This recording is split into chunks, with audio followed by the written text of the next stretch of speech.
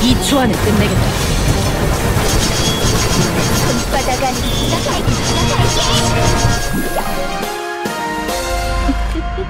저런 예상치 못한 상황이었지.